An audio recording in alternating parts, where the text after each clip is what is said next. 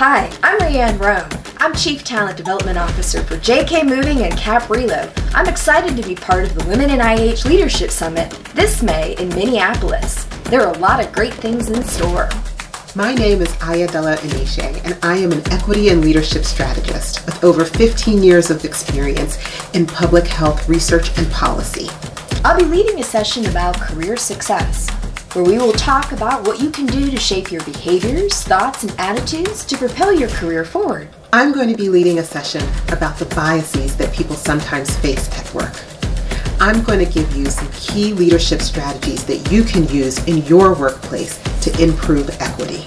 I want you to leave this session with a sense of hope, value, and renewed worth for the future. Join me as I talk about my own personal experiences with unconscious bias and some of the tools and strategies that I've used to be able to conquer it. We're here to invite you to the Women in IH Leadership Summit in Minneapolis, Minnesota this May. We have exciting insights and stories to share with you. We hope to see you there.